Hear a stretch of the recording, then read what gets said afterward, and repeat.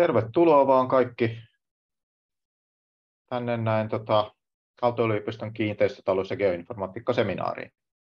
Odotetaan tässä nyt vielä hetken aikaa, jos tänne tulee enemmän näitä kuulijoita ennen kuin aloitellaan tämä tota, meidän varsinainen seminaari, mutta tota, omasta puolestani tervetuloa. Mä olen Jussi Nikander, mä olen toinen täältä tota, ää, henkilökunnan edustajista tässä seminaarissa ja täällä on mun kanssa Heidi Falkenbach ja sitten opiskelijaedustajina Minna ja Minna Rantakokko ja Joona Lipponen ja tosiaan tuossa kohta puoleen sitten rupeamme käymään tätä varsinaista esitystä läpi, mutta nyt voi vielä, tai odotetaan nyt vielä hetken aikaa. Katsotaan kuinka paljon meille tulee, tulee kuulijoita näin livenä.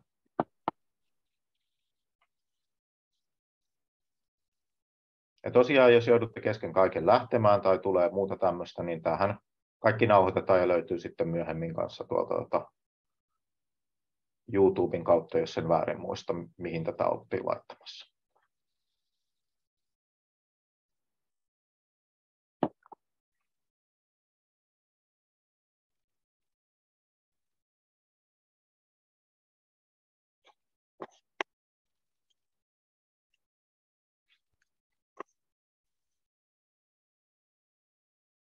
Tosiaan vielä hetken aikaa tästä tota,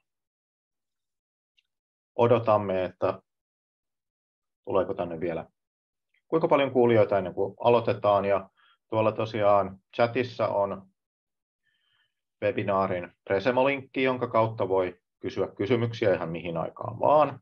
Samoin sitten tuonne tota, uh, Zoomin chattiin voi myös laittaa niitä kysymyksiä, jos se tota, Presemo-linkki ei, ei ole satu olemaan itsellään auki.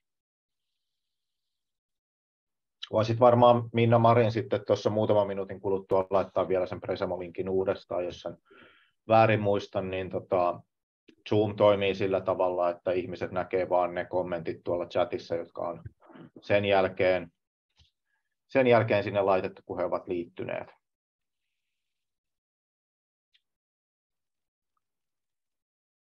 Mitäs mieltä oot Heidi? Pitäisikö tässä meidän vähitellen ruveta aloittelemaan? Eiköhän me voida aloitella ja sitten Matti Myöhäiset voi liittyä seuraan sit vauhdista, eikö? Joo, kuulostaa oikein hyvältä. Eli tota, tervetuloa kaikki tähän tota, Aalto-yliopiston kiinteistö, kiinteistötalous- ja geoinformatiikkaseminaariin. Ja minä olen Jussi Nikander, mä olen geoinformatiikan yliopistolehtori täällä Aallossa ja minä olen toinen näistä tota, niin kuin seminaarin tai yksi näistä seminaar, seminaarin pitäjistä toinen henkilökunnan puolesta täällä. Ja mun kanssani täällä on kolme muutakin, että te voitte varmaan nyt sitten nopeasti esitellä itsenne. Joo, moi vaan kaikille. Mä olen Heidi Falkenbach, kiinteistötalouden professori, ja vedän yhdessä Jussin kanssa tätä meidän kandiohjelmaa. Sitten meillä on opiskelijaedustajat paikalla. Saadaanko heille kamerat ja mikit vielä toimimaan, niin voitte nopeasti esitellä itse. Moi, mä oon Minna Rantakokko ja mä oon tosiaan opiskelija ja mä opiskelen geoinformatiikan niin suuntauksena. Ja moi kaikille, mä oon Joona Lipponen, mä opiskelen tuota kolmatta vuotta nyt täällä Aallossa. Kuuluu ääni hyvin? Ääni kuuluu. Hyvä. Ja tosiaan meidän seminaarin sisältö näin lyhyesti on tässä näin, eli aluksi pikkasen tuota, kerro, kerromme tästä tuota, kampuksesta, yliopistosta, meidän ohjelmasta. Puhutaan pikkasen siitä työelämästä, työllisyysmahdollisuuksista, mitä, mitä tämä meidän koulutusohjelma tarjoaa. Ja sitten täällä tulee näitä opiskelijoiden kokemuksia siitä, että minkälaista täällä on opiskella. Ja Heidi, sulla taisi olla se. Ja. Joo, eli meillä on tota tässä Aalto-yliopistossahan on tosiaan niin kuin kolme, jakautuu vähän niin kuin kolmeen tämmöiseen päälinjaan, taiteeseen, tekniikkaan ja talouteen. Ja nämä on jaoteltu niin kuin kuuteen korkeakouluun, joka sitten ehkä enemmänkin tälle opiskelijan näkökulmasta niin se on, että ketkä ne kurssit tarjoaa. Meidän tämä kiinteistötalous ja geoinformatiikka kuuluu tuohon insinööritieteiden korkeakouluun. Ja tota, näin, se on tota, tämmöinen hallinnollinen jaottelu. Joo. Alsta on niin kuin myös, tässä on enemmän kuin pelkän tutkinnon. Me ollaan aika monialainen yliopisto, että ei tarvitse pelkästään opiskella niitä oman pääaineen kursseja, vaan sä saat monipuolisesti käytyä kursseja myös niin kuin muilta aloilta. Ja sitten täällä löytyy aika paljon kaikenlaista tekemistä. Opiskelijaelämä on vilkasta ja kaikille todennäköisesti löytyy joku semmoinen juttu, mistä voisi tykätäkin.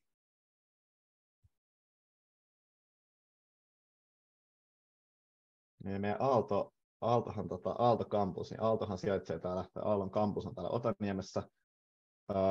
Mä sanoisin ihan, että meillä on aivan huikea kampus. Meiltä löytyy tosi paljon kaikkea täältä, niin kun, jos asuu esimerkiksi kampuksella, niin elämän voi viettää täysin täällä, täysin täällä opiskelijoiden kanssa yhdessä. Mutta toisaalta, jos haluaa asua muualla, niin meidän yhteydet tänne on tosi hyvät. Että tota, tuossa nä- näkyykin kalvoilla hyvin, että on niin kuin just opiskelutiloja, on tosi kattavasti varattavia kirjastoa löytyy, missä opiskella, mm, on vapaa-ajan viettomahdollisuuksia ja muuta. Ups, anteeksi, mulla nyt pomppii kalvot täällä. Joo, pahoittelut, mulla on jotain vähän ohjausongelmia. Ja nyt siirrytään sitten vähän puhumaan tuosta kiinteistaloudesta ja geoinformatiikasta, eli tästä meidän kandidaatin tutkinnon pääaineesta. Ja me otetaan vuosittain tähän pääaineeseen 55 opiskelijaa. Ja lähtökohtaisesti tämä tutkinto kanditasolla on suomenkielinen, eli meillä on pääosa opetuksessa suomeksi tai ruotsiksi, ja, ja sitten opetusta on yksittäisillä kursseilla englanniksi, mutta pääsääntöisesti suomeksi ja pikkasen kuitenkin niin kuin muutama kurssi siellä englantia, jotta sitten valmistaudutaan niihin maisteriohjelmiin, jotka on lähtökohtaisesti englanninkielisiä. Ja tosiaan me sijaitaan siellä insinööritieteiden korkeakoulussa, kuten Joona sanokin, ja rakennetun ympäristön laitoksella. Ja tämä tässä te näette paljon naamakuvia tässä, niin tässä näkyy tämä meidän akateeminen henkilökunta.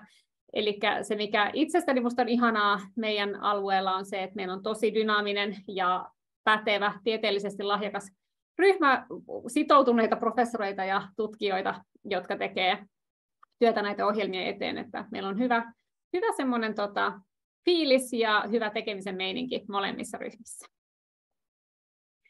Sitten puhutaan vähän siitä, mitä nämä oikeastaan nämä tutkimusalat on tai tieteenalat on, mitä me halutaan teille opettaa, koska ne ei välttämättä ole ihan niin selviä pelkästään noiden nimien perusteella. Kiinteistötalous keskittyy nimensä mukaisesti kiinteistöihin. Ja kiinteistöthän on kansallisvarallisuuden suurin erä.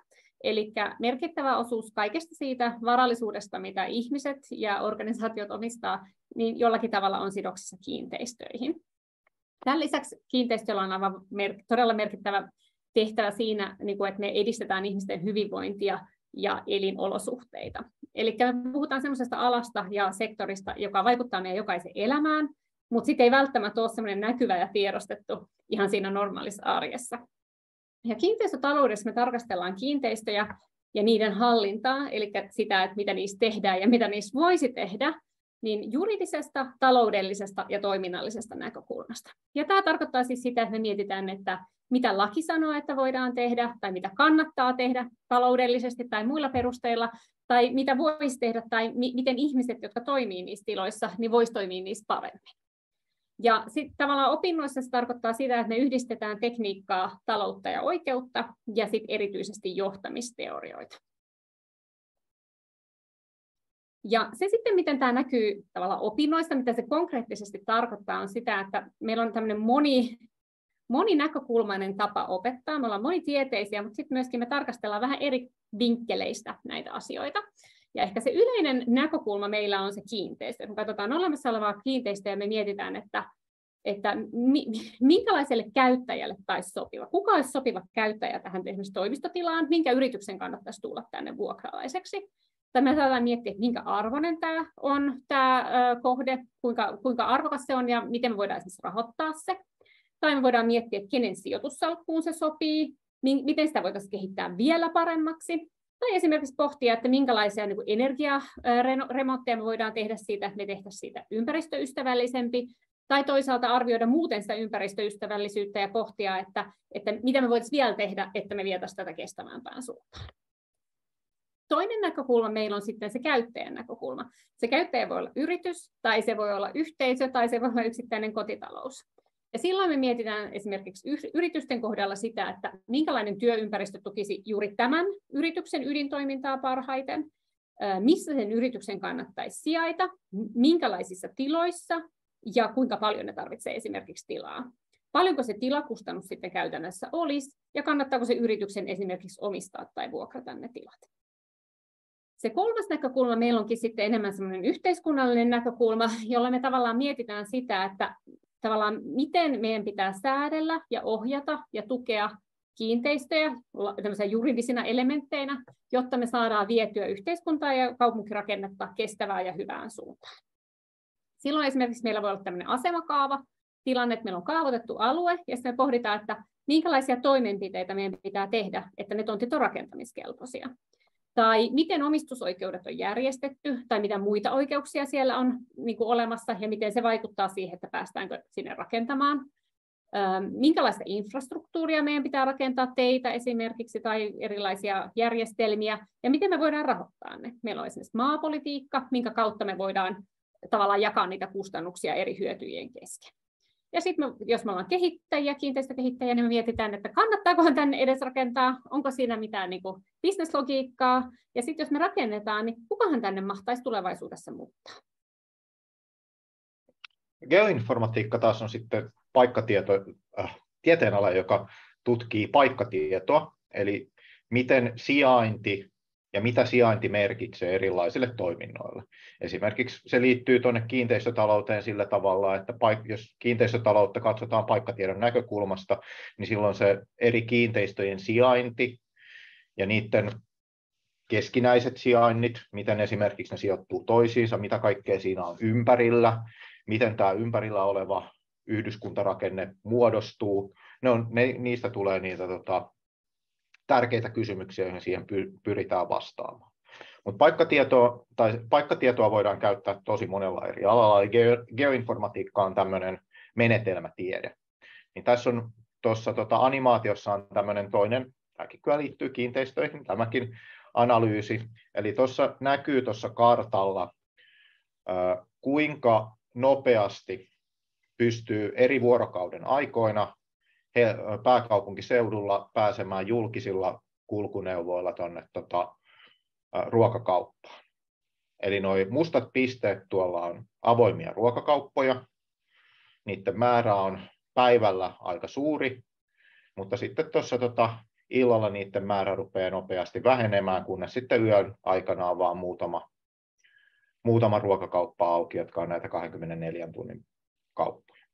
Ja sitten tuo väritys, mikä tuossa kartalla on, niin mitä tummempi se on, sitä kauemmin kestäisi julkisilla kulkuneuvoilla päästä tietystä paikasta ruokakauppaan. Tässähän tulee vastaan se, että mitä julkisia liikenneyhteyksiä eri alueilla edes on, niin että tuolla tota, ihan pikkutuntien aikanahan ei paljon mikään liiku, niin silloin ruokakauppoihin pääsee lähinnä kävellen, jolloin sitten nämä tota, saavutettavuusalueet on siinä hyvin pieniä jokaisen kaupan ympärillä.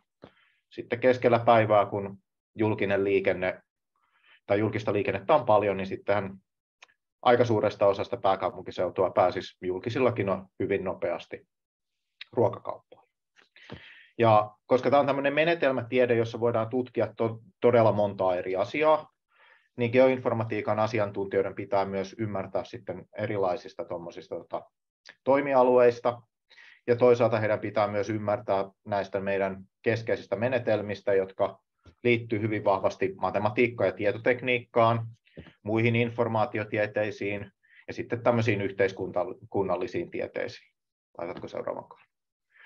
Ja tämä ei ole pelkästään tämmöistä, että katsotaan paikkatietoa tolleen isoin, isoina alueina kartoilla tai vastaavasti, vaan geoinformatiikka on nykyään yhä enemmän ja enemmän myös sisätiloissa.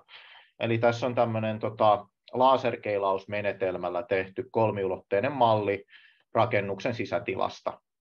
siinä on yksi käytävä ja siihen liittyviä muita tiloja. Tämä laserkeilaus on sellainen menetelmä, jos meillä on tämmöisessä tilanteessa jollakin tavalla kannettava tämmöinen laite, joka lähettää lasersäteitä ja lukee niiden heijastuksia ja sen avulla pystyy muodostamaan tämmöistä niin kuin kolmiulotteista kuvaa siitä ympäröivästä tilasta. Eli se siihen se kauan sillä laserilla kestää matkata takaisin, takaisin siihen laitteeseen, niin siitä saadaan etäisyys. Ja sitten me pystytään tiettyjä asioita myös lukemaan ihan siitä tota heijasteesta, eli se pinta, josta se säde heijastuu, niin se vaikuttaa tietyillä tavoilla siihen tota, ää, takaisin tulevaan lasersäteeseen. Ulkotiloissa tätä samaa voidaan käyttää esimerkiksi siihen, että me pystytään jostakin tota, helikopterista tai lentokoneesta käyttämään tuommoista laserkeilainta ja sitten se säde itse asiassa heijastuu, voi heijastua monta eri kertaa matkalla maahan. Eli jos siinä on esimerkiksi puustoa, niin sit sitä voi tulla puusta monta eri heijastetta ja aluskasvillisuudesta heijasteita, kunnes viimeinen tulee sitten sieltä maanpinnasta. Ja nämä kaikki pystytään lukemaan ja niiden avulla pystyttäisiin sitten ulkotiloilla, ulkotiloissa esimerkiksi rakentamaan aika hyviä kuvia siitä, että kuinka tiheää kasvillisuutta tietyllä alueella on ja kuinka korkeaa se kasvillisuus. Ja tämän lisäksi sitten käytetään muitakin menetelmiä tuossa tota, geoinformatiikassa, mutta voidaan mennä eteenpäin. Eli tässä meidän itse ohjelmassa sitten kiinteistötalous ja geoinformatiikka on kandidaattiohjelma, eli se on se ohjelma, mihin, mihin valtaosa opiskelijoista tulee sisään yliopistoihin. Se on kolmevuotinen ja tota, valmentaa maisteriohjelmiin. Meidän ohjelmassa on kolme eri suuntautumisvaihtoehtoa, jotka on semmoinen päätös, mitä tehdään tyypillisesti siinä toisen opiskeluvuoden aikana. Ja suuntautumisvaihtoehdot on vähemmän yllättäen kiinteistötalous on yksi ja geoinformatiikka toinen, mutta sen lisäksi meillä on tämmöinen yhdistelmäsuuntaus, jossa tulee keskeiset asiat kummaltakin puolelta. Eli jos menee tuonne kiinteistötalouden suuntautumiseen, niin siellä pystyy porautumaan syvemmälle ekonometriaan, taloustieteisiin, yhteiskuntatieteisiin. Sitten jos menee geoinformatiikkaan, niin sitten siellä tulee enemmän matematiikkaa ja tietotekniikkaa. Tässä yhdistelmäsuuntauksessa sitten tulee perusteet näistä niin kuin molemmista, molempien alueiden ylin asioista. Ja sitten siellä pystyy sen lisäksi vielä jonkin verran syventymään niihin asioihin, mihin itse haluaa. Ja kaikilla on sitten semmoiset, kaikki meidän opiskelijat käy peruskurssit kummaltakin alueelta, eli jokaisella on jonkinmoinen ymmärrys kiinteistötaloudesta ja jonkinmoinen ymmärrys geoinformatiikasta, ja sitten oman, omien mieltymysten mukaan voi sitten ruveta syventymään niihin asioihin, mitkä kokee omasta mielestä kaikista mielenkiintoisimmaksi. Ja tämä niin kuin näkyy myös tässä meidän ohjelman rakenteessa, eli meillä on perusopinnot. Siellä tulee sitä matematiikan perusteita, tietotekniikan perusteita ja sitten kiinteistötalouden ja geoinformatiikan perusteet. Toi luetaan siinä pääosin ensimmäisen lukuvuoden aikana. Sen jälkeen sitten pystyy valitsemaan suuntautumisen, josta valtaosa näistä tota, opinnoista pystyy sitten lukemaan toisen lukuvuoden aikana. Siinä useimmilla opiskelijoilla jotain menee myös sitten kolmannelle lukuvuodelle täältä suuntautumisesta. Suuntautumisen lopuksi on sitten kandidaattityö, joka on niin tämä kandidaatti opintojen se lopputyö. Sen lisäksi on sitten sivuaineet, joka on joko 20 tai 25 opintopistettä yleensä. Tämmöinen 25 opintopisteen on pisteen sivuaine, niin se on semmoinen laaja sivuaine, jonka avulla sitten pääsee oikeasti aika syvällekin johonkin muuhun aihealueeseen kuin siihen omaansa. Että sivuaineopinnot voi olla esimerkiksi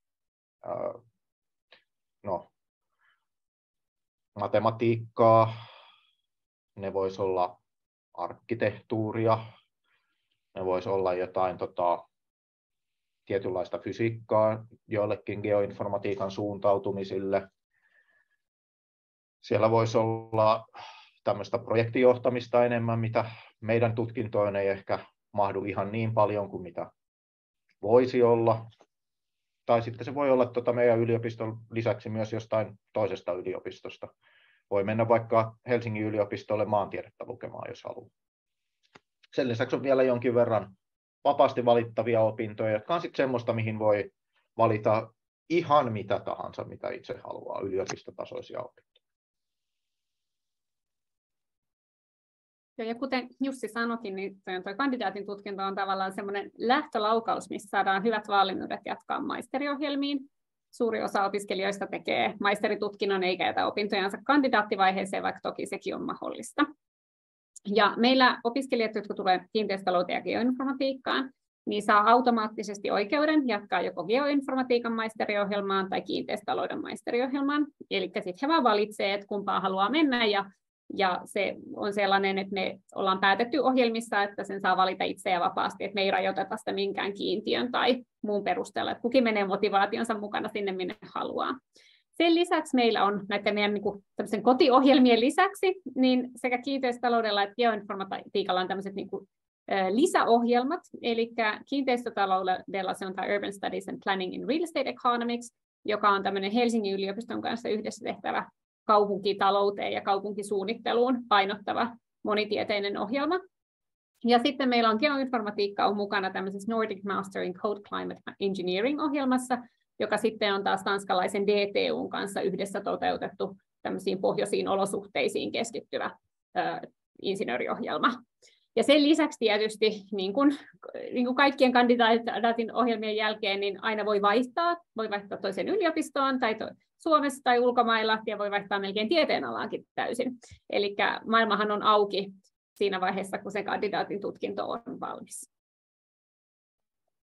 Uramahdollisuuksista kiinteistö- ja geoinformatiikan alalla voidaan sanoa, että ne on kyllä, se on vähän, että melkein mitä vaan voi tehdä.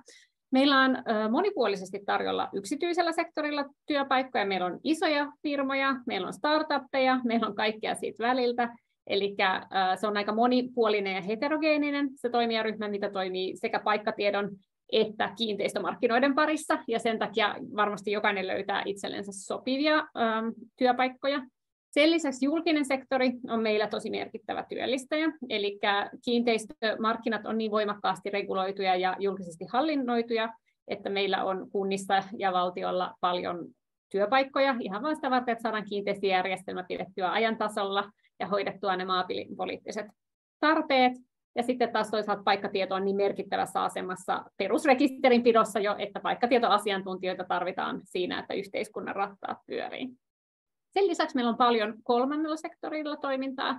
Eli kolmas sektorihan on se semmoinen ei-voittoa tekevä toimijaryhmä, jotka ei ole niin julkisia toimijoita, mutta ei myöskään niin kuin yrityksiä. Ja siellä on esimerkiksi nämä organisaatiot, jotka tekevät kehitysyhteistyöhankkeita ja pyrkii parantamaan näitä omina, tai olosuhteita esimerkiksi Afrikassa tai, tai muualla, ja, ja ne sitten on meillä myöskin semmoinen mahdollinen urapolku, koska tietysti sekä maahan liittyvät, maahan, maan omistukseen liittyvät kysymykset on tosi tärkeitä semmoisen yhteiskunnallisen vakauden ja hyvinvoinnin kannalta, niin myöskin paikkatieto alkaa olla niin peruselementti semmoisessa toimivassa yhteiskunnallisessa infrastruktuurissa, että se on tärkeää saada rakennettua kuntoon sellaisessa maassa, mitä me halutaan viedä niin kuin hyvään suuntaan. Ja tietysti kuten melkein voi sanoa, että kaikilla, kaikilla alan insinöörialoilla tilanne on, niin osaajille on kova kysyntä ja työmarkkina on ainakin toistaiseksi kyllä kaikki rekrytoinut, jotka, jotka on tuota, markkinalle päästeet. Jotta vähän sitten saataisiin ehkä konkretisoitua niitä ammattinimekkeitä tai mitä meillä voisi olla, niin mä ajattelen, että mä laitan tähän jotakin esimerkkejä. Nämä sinisellä olevat on sellaisia jotka on niin enemmän tuota geoinformatiikan suuntaan. Siellä näkyy paikkatietoa, asiantuntijaa, erilaisia kaukokartoitusasiantuntijoita, tietomallikoordinaattoria ja sitten on tämmöisiä kunnallisia to, niin kuin nimikkeitä, niin kuin kaupungin geodeetti tai tekninen johtaja tai mittauspäällikkö. Nämä on ihan vain esimerkkejä, että ei ole poissulkeva lista ollenkaan. Sitten punaisella vähän kiinteistötalouden nimikkeitä. Siellä näkyy kiinteistöarvioitsija, toimitilajohtaja, salkunhoitaja, analyytikkoa. Ja sitten julkisella puolella toimitusinsinöörejä, kiinteistöinsinöörejä ja tota, maapoliittisia asiantuntijoita myöskin, mitä en ottanut tuonne osata lisätäkään. Sitten meillä on paljon sellaisia nimikkeitä, mistä tavallaan, joihin voi hakeutua kummasta tahansa suunnasta. Eli esimerkiksi maankäyttöinsinööri on sellainen, jolla voi olla joko geoinformatiikan tai kiinteistötalouden koulutus, se riippuu aina vähän kunnasta, samoin geodeetilla. Ja sitten on tietysti tämmöisiä geneerisiä tavallaan profiileita, niin kuin tutkija tai konsultti tai analyytikko, joka sitten aina riippuu vähän siitä, että missä ollaan töissä, niin se työnkuva on niin kuin vaihtelevampi kuin se nimike. Sitten Jussi mainitsi tuossa tutkintorakenteen yhteydessä siitä, että meillä on niitä vapaasti valittavia opintoja ja sivuaineita, niin Aallossa arvostetaan kovasti sitä, että opiskelijat tai opiskelijoilla on hyvä mahdollisuus lähteä vaihto-opiskeluun ja toisaalta myös sisällyttää työharjoittelua tutkintoonsa. Ja etenkin tämä vaihto-opiskelu on sellainen, että me ollaan kovasti sitoutunut meitä siihen ja meillä on tosi paljon hyviä vaihtoyliopistoja ympäri maailmaa, joihin opiskelijoita lähtee vuosittain vaihto-opiskelemaan. Vaihto voi kestää kolmesta kuuteen kuukautta, ja me sitten hyväksi, luetaan näitä vaihto-opintoja sekä sinne sivuaineisiin että sinne valinnaisiin opintoihin, että sitten tosiaan opiskelijat pystyy helpommin lähteä vaihtoon ja saadaan rohkaistua kaikille semmoinen mieletön kokemus, niin kuin se vaihto on. Mutta nyt minä ja Jussi ollaan kerrottu niin paljon tota, tämmöistä ihan faktaa, niin seuraavaksi siirryttäisiin ehkä kuulemaan meidän opiskelijoilta, että, että millaisia fiiliksiä heillä on tästä koulutuksesta. Joona ja Minna, että olette jo tuossa pikkasen äänessä, mutta aloitetaanko vähän sillä, että kerrotte pik- pikkasen enemmän, keitä oikein olette ja mistä olette kotosi? Joo, mä voin tota, tästä vaikka aloittaa. Eli tota, mä itse olen valmistunut Porkkalan lukiosta Kirkkonummelta silloin 2018. Mulla tuli siinä muutama, muutama välivuosi sitten, ää, kävin Intin välissä ja muuta. Ja 2020 sitten aloitin opiskelut täällä ja nyt sitten tosiaan kolmas vuosi käynnissä ja suuntana tällä hetkellä toi kiinteistötalouden maisteriohjelma. Niin siinä, haluatko, siinä tämmöiset perusfaktat tuota lukiosta tänne. Mites Minna? Joo, mä oon itse valmistunut, tai mä oon Kuopiosta kotoisin, niin mä oon sieltä valmistunut lukiosta 2021, jonka jälkeen mä sitten aloitin Aallossa ja opiskelen nyt toka vuotta tosiaan kiinteistötaloutta täällä. Ja Minna, etkö sä ollut enemmän kiinnostunut geoinformatiikasta, niin tota, mikä Joo. saisi oikein niin kuin, tulemaan tänne tota, sille alalle?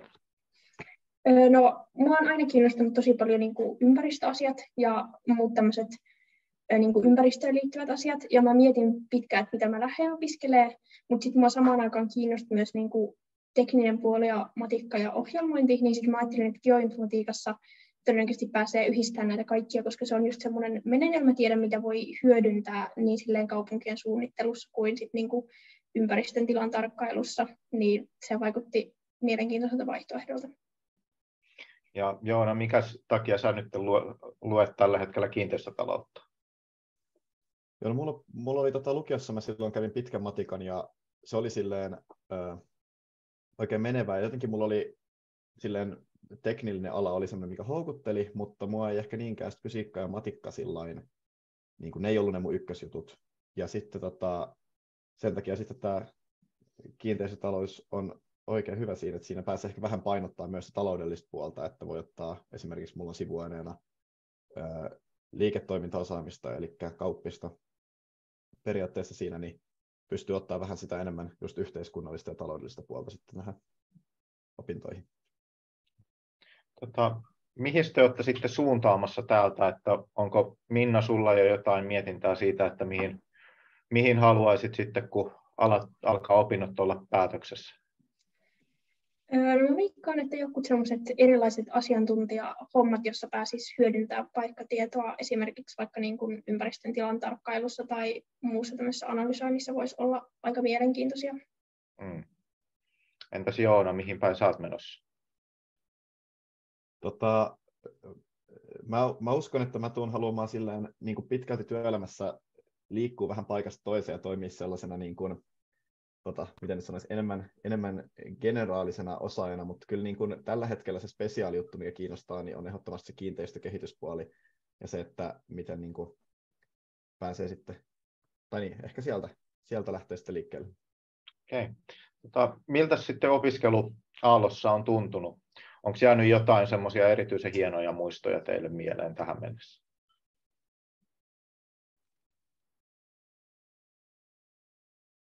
Kyllä mä niin nyt tota, opiskelu, opiskelu on silleen, mä sanoisin, että kursseilla on lähtökohtaisesti tosi kunnianhimoista porukkaa ja silleen pääsee niin kuin tekemään, tekemään niin kuin, esimerkiksi on paljon ryhmätöitä, projekteja, niin aina ainakin itselle on löytynyt sellainen ryhmä ja muu, jonka kanssa on ollut hyvä toimia. Öm, ja näin, mutta kyllä niin kuin haluaisin vielä tässä kohtaa nostaa esiin Aalosta sen, että kyllä se niin kuin, tämä meidän yhteisö, mikä meillä on täällä, on sitten opiskelupuolella tai opiskelun ulkopuolella vapaa-ajan vietossa, on mun mielestä vaan tosi huikea, että silleen täällä on tota, pääsee kaiken näköistä kaiken näköistä tekemään myös opiskeluohjelma. Entäs Minna? Jos opiskelu miettii, niin kyllä niin kuin monet kurssit on ollut mielenkiintoisia ja sitten päässyt ehkä opiskelemaan sellaisia asioita, mitä ei välttämättä niin kuin on ekana tullut ajatelleeksi, että niin kuin tulisi opiskelemaan. Ehkä silleen niin kuin pääsi oppi, opiskelemaan yllättävän laaja-alaisesti kaikkea. Joona mainitsikin jo tuosta opiskelijaelämästä, niin haluaisitteko te seuraavaksi sitten vähän ehkä siitä kertoa? Joo, tota, no niin kuin mä tässä vähän jo menin mainitsemaan, niin meillä on tosi, tosi laaja-alasti kaiken näköistä vapaa-ajan vietettä, että löytyy niin kuin bileitä, juhlia, mm, retkiä, liikuntatapahtumia, etenkin niitä on ollut tässä nyt viime syksynä oli paljon. Ja tota, tämä on semmoinen, niin kuin, että tämä yhteisö, mikä meillä on täällä, niin on vähän just se, niin kuin tuossa viimeisenä bullettina onkin, että tota, pääsee tekemään just sitä, mitä haluaa. Eli meillä on täällä mahdollisuuksia ja me yritetään mahdollistaa sen, että mitä ikinä vaikka tulevan opiskelijana just sä haluat tehdä, niin me yritetään luoda sulle siihen mahdollisuudet. Että niin kuin, näin. Joo, ja sitten ainakaan niin kiltatoiminta on tosi aktiivista, mutta sen lisäksi täällä on niin kuin, kiltatoiminnan lisäksi paljon kaikkea. Esim. Mm, kummallakin geoinformatikalla ja kiinteistötaloudella niin ammattiainekerhot esimerkiksi, ne järjestää sille vielä niin spesifimmin kummankin alaan liittyviä esim. yritysvierailuja ja muuta tämmöisiä urajuttuja. Sitten Aallosta löytyy paljon ihan erilaisia kerhoja, joissa on paljon niin kuin erilaisia urheiluharrastuksia pääsee harrastamaan. Esim. mä itse harrastan pyöräilyä, niin mä oon sitten käynyt tota, aina välillä Aallon pyöräilykerron niin yhteislenkeillä. Haluaisitteko te vielä kertoa tuosta edelliseltä kalvolta, että mitä on sitsit? Mä luulen, että se ei välttämättä kaikille meidän katsojille ole sel- selkeä termi. Joo, sitsit on tämmöinen akateeminen pöytäjuhla, eli tuossa toi keskellä oikealla oleva kuva ehkä noista kuvainnollista sitä, eli ähm, vietetään aikaa jossain tilassa järjestetty tota, niin, kokoonnutaan yhteen tota, nauttimaan sitten ja tota, hengaamaan porukalla. Usein sitten siihen kuuluu sitten niin kuin tämän varsinaisen pöytäosuuden jälkeen, jossa sitten yleensä tällainen kolmen ruokalajin tota, illallinen, niin tota, sitten sen jälkeen on jatkot ja muuta. Ja ruokaillessa tietysti lauletaan. Joo, tämä oli hyvä lisäys. Eli laulut, laulut on ja tota, iso osa sitten se. Toivottavasti Teekkari vielä laulaa mieluummin kuin hyvin. Ehdottomasti.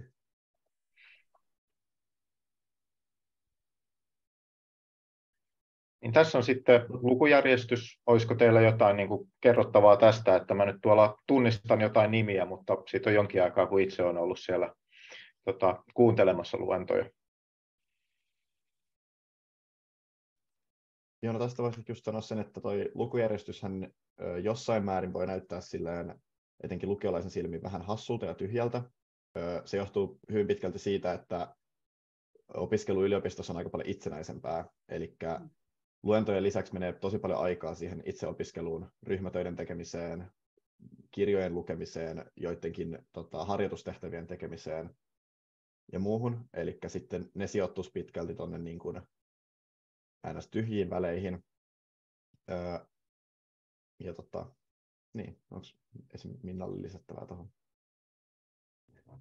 Mm, no varmaan just se, just, että niin kun pakollista opetusta on ehkä lukion verrattuna suhteellisesti tosi vähän, mutta joutuu näkemään just itsekin vaivaa, että se opiskelun pääpaino voi olla itsenäisessä ja kavereiden kanssa opiskelussa. Mä näen heti tuossa, että tuolla on johdatus geoinformatiikkaan, se on varmaan kahdeksan tuntia noiden harkkojen ja luentojen lisäksi työtä viikossa. Sitten tuolla on ohjelmointi Y2, se on varmaan toinen mokoma.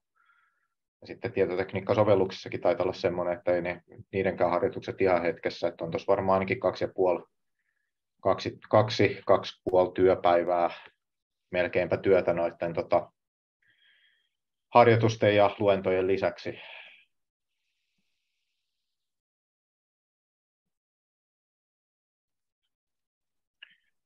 Joo, tähän opiskelijaelämään kuuluu sit aika monipuolisesti kaikenlaisia etuja. Ehdottomasti ö, melkein paras ja semmoinen useimmin käytetty on opiskelijaruoka, joka on tosi hyvä ja Otaniemessä on tosi ö, laaja valikoima erilaisia ravintoloita, että joka päivä kyllä löytyy hyvää ruokaa. Ja sitten tota, opiskelijaruoan lisäksi opiskelija-asuminen. Täällä on AY sekä HOAS, jotka tarjoavat opiskelijoille opiskeluasuntoja. Ja jatkat sä Joona vielä tästä jotenkin, jos sulla on jotain?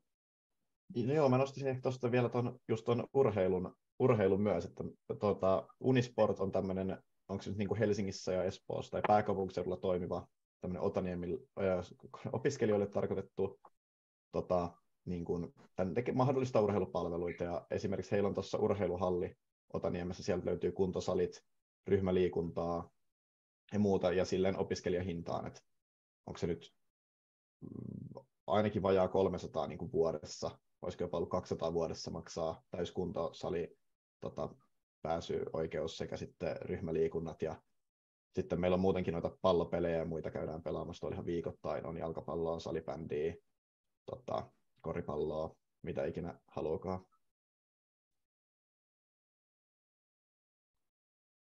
Noin, jos kiinnostaa tulla meille opiskelemaan, niin tänne haetaan ensisijaisesti yhteishaun kautta. Eli seuraava hakukierros on tuossa maaliskuun loppupuolella. Haku avautuu 15.3. ja on sitten tuonne tuota maaliskuun loppuun asti auki. Ja opintopolusta löytyy nämä tarkemmat hakuohjeet ja valitaperusteet, mutta kiinteistötalojen geoinformatiikan ohjelmaan me otetaan 55 opiskelijaa sisään joka vuosi, ja näistä valtaosat valitaan todistusvalinnalla ja loput sitten pääsykokeen kautta. Ja todistusvalinnassa tehdään niin, että hakijat laitetaan tuon, tota, ylioppilastutkinnon perusteella paremmuusjärjestykseen, mutta jotta voi tulla todistusvalinnan kautta meille, niin pitää olla suorittanut pitkän matematiikan ja sitten pitää olla joko pitkästä matematiikasta vähintään M tai sitten joko fysiikasta tai kemiasta vähintään eksimia, että me otetaan niin kuin todistusvalinnalla ylipäätänsä sisään. Jos käy niin, että sitten tota oma ylioppilastodistus on sellainen, että tuollaisia ei sieltä löydy, niin sitten siinä vaiheessa meille voi hakea tuon tota, pääsykokeen kautta, joka järjestetään siinä muistaakseni loppukeväästä, en muista tarkalleen tota päivämäärää, asia pitäisi olla ymmärtääkseni myös niin, että nämä tota, todistusvalinnat olisi tänä vuonna tehty siinä vaiheessa, kun pääsykoepäivä koittaa, ettei tarvitse olla enää niin kuin epävarma, että pääseekö sisään suoraan vai joutuuko, joutuuko tekemään tämän tota, pääsykokeen. Ai anteeksi nyt. Juu, ja jos ylipäätänsä kiinnostaa tekniikan opiskelu, niin meille on tulossa tämmöinen lähtölaskenta yhteishakuun tuossa tota, noin kuukauden päästä, jossa on sitten erinäköisiä webinaareja monelta eri kantilta Aalto-yliopistosta, ja tuolta löytyy tota, lisätietoja tuolta meidän sivuilta, että olettaisin, että jos sanoo lähtölaskenta yhteishakuun Aalto, niin Googlekin löytää tämän, tämän kyseisen sivuston suoraan sitä kautta. Että nyt, jos kiinnostaa, niin sieltä löytyy lisätietoja. Nyt jos on jotain kysyttävää, niin kysykää ihan mitä vaan, me kyllä vastaamme. No. Täällä ensimmäinen kysymys on tullut, että tota, onko helppo tutustua muiden alojen opiskelijoihin. Joona ja Minna, tämä on varmaan ehkä semmoinen, mistä te tiedätte vähän enemmän kuin minä tai Heidi.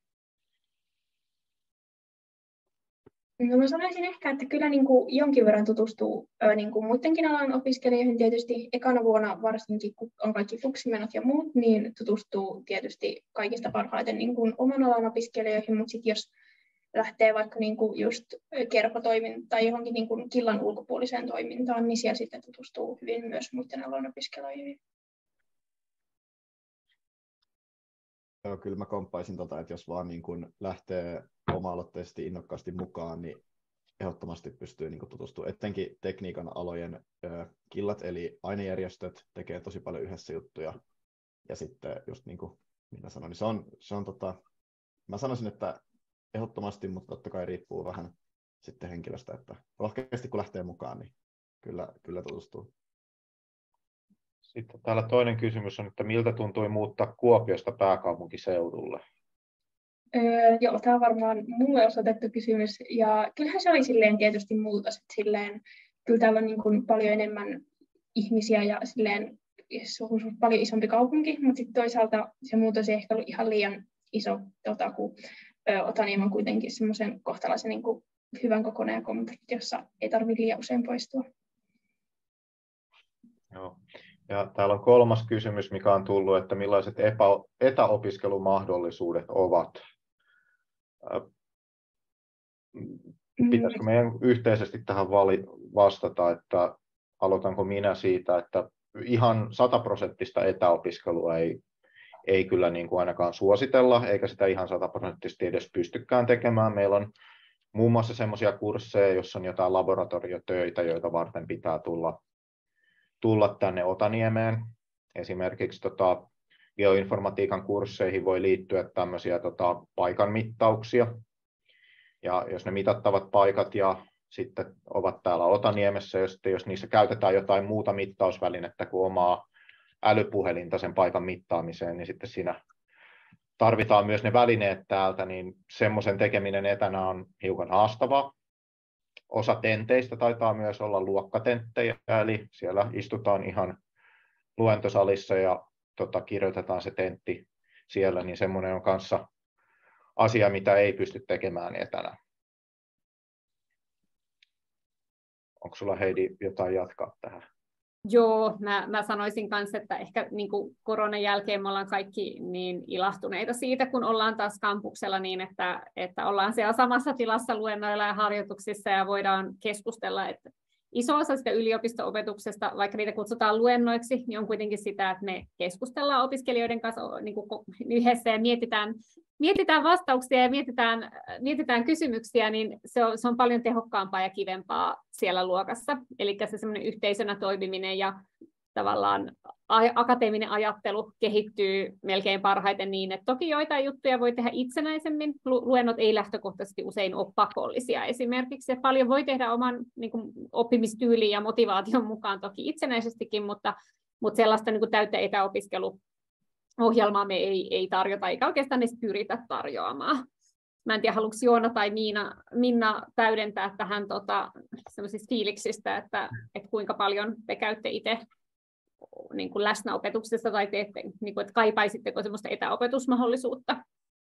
Mä voin ehkä tähän jatkaa, että, no, että jos on just silleen, että ei vaikka joka päivä haluaisi käydä kampuksella, niin oman lukujärjestyksen suunnittelu kyllä onnistuu silleen, että jos vaikka koulumatka on just pidempi, että pyrkii tekemään sen silleen, että painottaa kampuksella käymisen vaikka pariin päivään.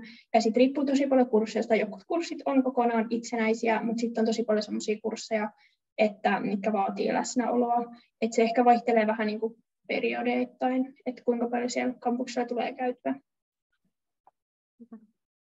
Joo, ei mulle ei mitään lisättävää noihin. Joo, täällä on tullut sit lisää kysymyksiä, että onko opinnot vaikeita, mitkä on ollut parhaita kursseja?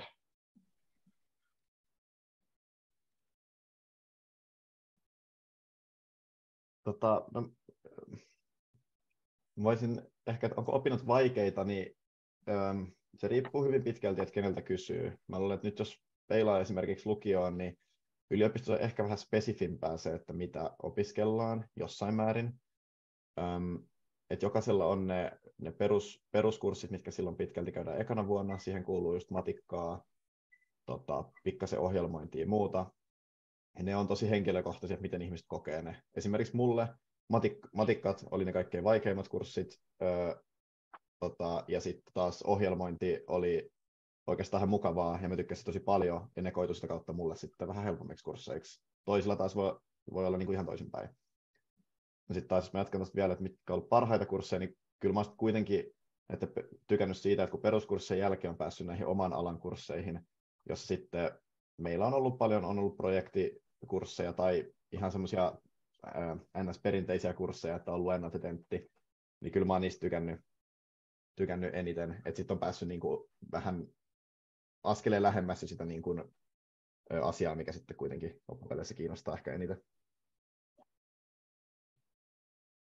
Joo, mä voisin ehkä jatkaa, että opinnot ei ainakaan tähän mennessä ole vielä tuntunut silleen missä vaiheessa ylitse pääsemättä aika hankalilta.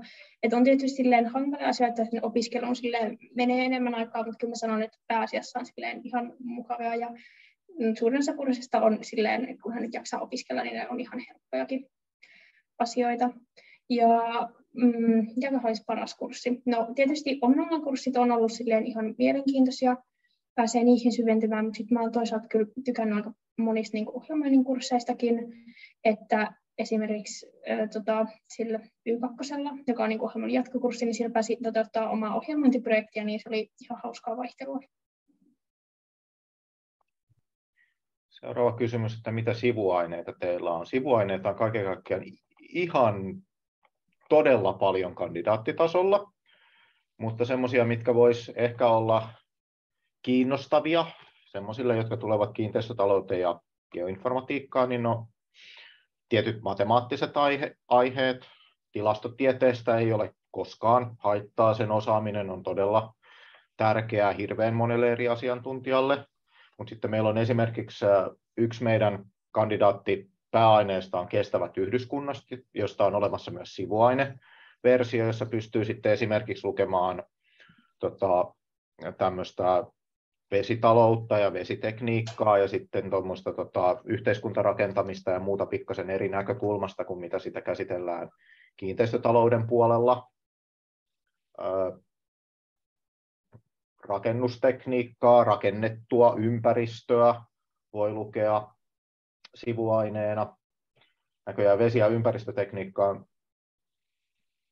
semmoinen, mitä me ei voida ottaa. Sille on olemassa oma sivuaine, mutta se ei ole insinööritieteelle, mutta se on meidän tarjoama, niin mä luulen, että siellä meidän tota, rakennetun ympäristön sivuaineessa löytyy aika paljon samoja asioita.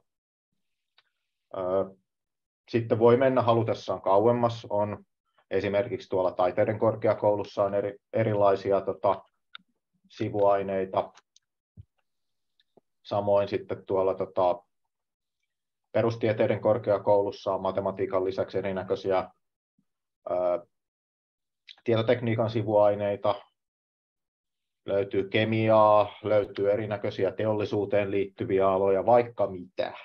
Markkinointia, yhdyskuntasuunnittelua, arkkitehtuurin historiaa, audiovisuaalista kerrontaa, että tota, valikoima on todella laaja. Joo, ja sehän on, on just näin, että lähtökohtaisesti melkein jokainen oppiaine tarjoaa kandidaattitasolla myös sivuainetta. Et samalla tavalla kuin meillä on se oma pääaine, niin me tarjotaan myös kiinteistötalous- ja geoinformatiikkaa niin kuin kiinnostuneille sivuaineita. Niin samalla tavalla kaikki muut ohjelmat tarjoaa myös sivuaineita kandidaattitasolla, minkä takia se valikoima on siis ihan loputon. Ja siinä ainakin se, mitä itse käytän aina ohjauksessa viitenuorana, on se, että aina kannattaa tehdä sitä, mikä itseä kiinnostaa. Et sillä tavalla me saadaan opiskelijat pääsee rakentamaan sitä omaa, omaa kiinnostuksen kohteensa niin kuin mukaista profiilia ja kehittymään just niihin suuntiin, mitkä heitä kiinnostaa. Että meidän opiskelijat tekee paljon just yhdyskuntasuunnittelua tai maankäytön suunnittelua, taloustieteitä tai just yleisiä niin kuin taloudellisia kauppatieteellisiä valmiuksia, tai sitten tota, rakentamistekniikka, jos on kiinnostunut kiinteistökehityksestä, että, että meillä niin porukka jakautuu aika erilaisiin aineisiin. Ja se kertoo just siitä, että ihmisiä kiinnostaa eri asiat ja niin kuin tavallaan, että heille annetaan se mahdollisuus suuntautua sinne motivaation mukaan. Minna ja Joona, mitkä teidän sivuaineet on? Mm, no, mä voin aloittaa, niin tota, mä mietin vielä miten pitkään, että mitä mä haluan kokea sivuaineena. Ja kun siinä tutkinnossa valmiina on just, tulee jonkin verran mulla ainakin niin todennäköisyyslaskentaa ja ohjelmointia, niin ei sitten ehkä niin sivuaineena ollut enää järkeviä vaihtoehtoja. Niin sitten mä ajattelin, että mä luen Helsingin yliopistolta metsätieteitä sivuaineena, niin se on sitten taas ihan tosi erilaista, mutta sitten toisaalta kuitenkin tukee tietyllä tapaa sitä pääainetta, että sekin on mahdollista. Hyvä. Entäs Joona? Mulla on tällä hetkellä periaatteessa toi niin kuin kauppis, eli ö, mä tuun käymään sivuaineena tota, ö, niin, että ö, kaikki kauppiksen ensimmäisen vuoden kurssit tulee olemaan osana mun tutkintoa periaatteessa. Mulla on myös mahdollisuus, että mä voisin vaihtaa sen tietotekniikkaan, eli mä oon käynyt sieltä myös tarvittavat määrät, mutta nämä on ollut sellaisia. Ja että mä kyllä haluan komppaa tätä, että tämä, tämä AAL on hyvä puoli, että meillä on kauppista tekniikkaa, taidetta, että just minkä tahansa sivuaineen voi ottaa, mikä itseä kiinnostaa täältä ja niin kuin helposti. Ja sitten myös, myös muista yliopistoista. Sitten täällä on vielä tämmöinen kysymys, että onko kampuksella kautta opiskelutiloissa terve sisäilma ja onko sitä tutkittu ja kiinteistöjä remontoitu? Mä voin ehkä vastata tuohon. Joo, eli tota, meillä siis, mä sanoisin, että on tehty tosi paljon tal- niin kuin investointeja tänne kampukselle viimeisen kymmenen vuoden aikana. Ehkä Joona ja Minna voisitte kohta täydentää, että onko mä väärässä, mutta lähtökohtaisesti meillä on terveet ja turvalliset opiskelutilat. Eli siinä vaiheessa, kun tämä Aallon, Aallon kampukselle yhdistettiin kolme, kolme vanhaa yliopistoa, niin täällä on tehty niin kuin valtava määrä peruskorjausta ja samalla siitä uudisrakentamista. Ja se tarkoittaa kyllä sitä, että nykyään nämä tilat on tosi kivat ja, ja tota, hyvässä, hyvässä kuosissa. Tietysti on sellaisia rakennuksia, jotka on nyt menossa peruskorjaukseen, ja ne ei ole sitten välttämättä vielä ihan, ihan tota kaikista, kaikista niin tyylikkäimpiä tai hehkeimpiä, mutta terveellisiä niiden pitäisi olla. Että kyllä sitä, sitä seurataan tarkkaan, ettei kukaan sairastu, koska tietysti ihmisten terveys on niin ensisijasta. Mutta Joona ja Minna voi tietysti täydentää tässä Ehkä sen verran voisi sanoa, että, me, että tota, en ole kyllä itse ikinä kuullut, että olisi mitään ongelmaa sisäilman kanssa. Että olisi ollut kenelläkään mitään oireita tai muuta, enkä ole huomannut mitään ongelmia. Että tota, ei, ei kyllä suoraan sanottuna tulisi ajateltulta asiaa nyt, että ei, sanoisin, että ei ole ongelmaa ollut ainakaan. Sitten on kysymys, että onko tuotantotalous hyvä sivuaine geoinformatiikan pääaineeseen? Jos fokusoi geoinformatiikkaan, niin silloin ainakin on tuotantotalous oikein hyvä sivuaine. Mitäs mieltä Heidi on, että jos menee kiinteistötalouden puolelle? Joo, mun mielestä tuotantotalous sopii meillä niin mole, molempiin aloihin niin kuin nenäpäähän. Ei, ei mitään. Yes. Eli vastaus on kyllä tyhjentävästi kyllä. Mitä ohjelmointikursseilla tehdään? Minna, sinä ainakin taisit niitä ohjelmointikursseista sano. No sanoitte molemmat. Kumpi haluaa vastata? Mitä te olette siellä tehneet? No ohjelman, niin ihan ne perusohjelman kursseilla niin lähdetään ihan siitä, että niin kuin, tavallaan minkälaisia rakenteita ohjelmoinnissa käytetään. Ja sitten niin kuin yksinkertaisia tehtäviä ohjelmointi opiskellaan niin kuin käytännössä aina tehtävien kautta. Et teoriaa tulee suhteellisen vähän luettua, että se on aina niin kuin tehtävä, sitten ne vaikeutuu sitä mukaan, mitä pitemmälle päästään. Sitten tietysti voi niin kuin liittyä ne tehtävät enemmän niin kuin ihan silleen perusteisiin tai sitten vaikka johonkin tietorakenteisiin tai algoritmeihin tai sitten johonkin niin kuin web-koodaukseen tai riippuen kurssista.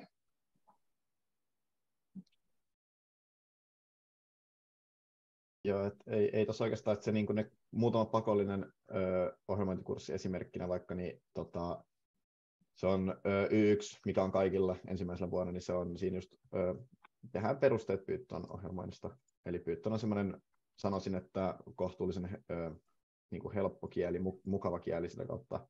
Että siinä ihan oikeasti jokainen näke, saa niin kuin ne perusteet siitä, että mitä oikeasti tarkoittaa ohjelmointi tällä kielellä. Ja sitten toinen on se tietotekniikka sovelluksissa, mikä on hyvä siitä, että siinä käydään muutama viikko öö, sitten eri kieliä, ja sitten siinä ei niin kuin ehkä mistään opi niin kuin silleen hirveästi, mutta siitä näkee sitten taas puolestaan, niin kuin millaista se on. Että on sitten joku JavaScript tai HTML tai muu, niin sitten siinä saa sen pienen niin kuin insightin sinne, että, aa, että okei, tämmöistäkin tämä on. Ja sitten jos se vaikka lähtee kiinnostamaan, niin sitten sitä voi opiskella lisää. Tota, eikö Joona, sä taisit olla siellä kiltatoiminnassakin aika aktiivisena mukana, eikö näin ollut? Joo, niin täällä on kysymys, että mihin kiltaan kautta ainejärjestöön opiskelijat kuuluvat, millaiset haalarit? Joo, meillä on tota, mä ja Minna kuulutaan tällä hetkellä molemmat tota, maanmittarikiltaan, eli voitte sitä googlata. Meidän nettisivut on kokemassa toivottavasti tämän vuoden aikana pienen uudistuksen, mutta siellä pitäisi olla päivitetyt tiedot nyt kuitenkin myös tälle vanhalle nettisivulle. Öm, se on nyt linkattuna tuolla chatissa. Ja meidän haalarit on mustat fuksian punaisella hihalla. Ja tota, tota, tota. Öö, joo, ne on, sieltä tuolta itse nettisivulta löytyy munkin yhteystiedot, niin voitte, voitte sieltä katella, katella sitten, jos tulee tosta jotain kysyttävää lisää.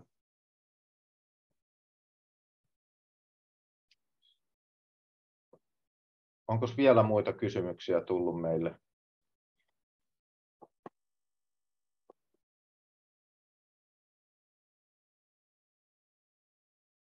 Onko vielä jotain, jotain, mitä joku haluaisi kysyä? Ei ole tähän mennessä kysynyt, niin nyt on tässä vielä mahdollisuus esittää, esittää kysymyksiä opiskelusta tai opinnoista tai opiskelijaelämästä tai mitä nyt mieleen tulee. No, onko tässä vaiheessa Joonalle tai Minnalle tullut mieleen semmoista juttua, mitä ei olla vielä muistettu sanoa, jota haluaisitte vielä kertoa niin kuin tästä alussa opiskelusta tai maanmittariudesta tai, tai mistä tahansa?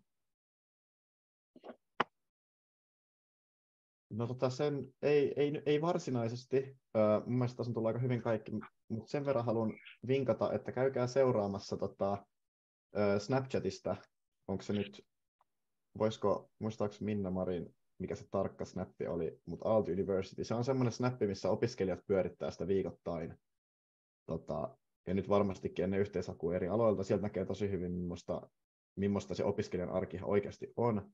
Ja sitten vähän vastaavasti niin Instagramissa se aalto.eng, niin nämä on semmoisia, mitkä, mistä näkee sitä niin kuin meidän oikeasti sitä opiskelijaelämää, millaista se on. Ja. Mites Minnalle, onko sinulle jäänyt mitään vielä sellaista ajatusta, mikä pitäisi kertoa? Ei varmaan mitään ihmeempää. No, onkohan siinä vaiheessa nyt sitten kaikki se, mitä tässä yhteydessä voidaan tota, niin kuin kertoa, niin kerrottu. Näin varmasti on. Tervetuloa vaan kaikille Aalto-yliopistoon. Toivottavasti näemme teistä mahdollisimman monen täällä ensi syksynä. Kiva, kun osallistuitte.